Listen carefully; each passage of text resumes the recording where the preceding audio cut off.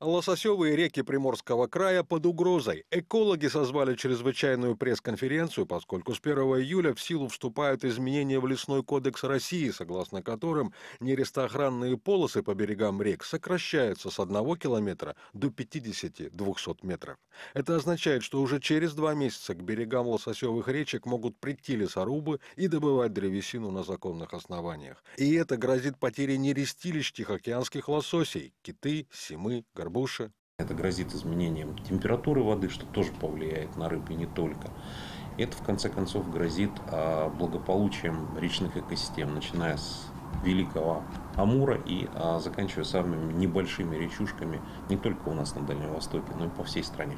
Приморье находится в зоне влияния циклонов и тайфунов, которые зачастую оказываются катастрофой для края, и именно леса в бассейнах рек уменьшают последствия этих бедствий. Поэтому реки хотя бы в этом аспекте необходимо сохранять.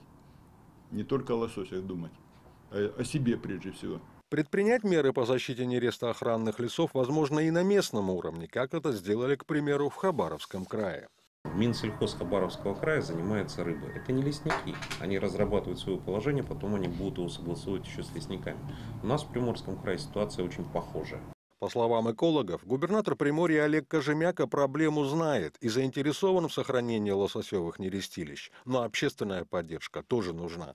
Поэтому Амурский филиал Фонда дикой природы подготовил петицию «Сохраним лес для людей и лососей», адресованную в правительство России, и которую может подписать любой неравнодушный приморец. Владимир Рощенко, Михаил Павлов, Панорама.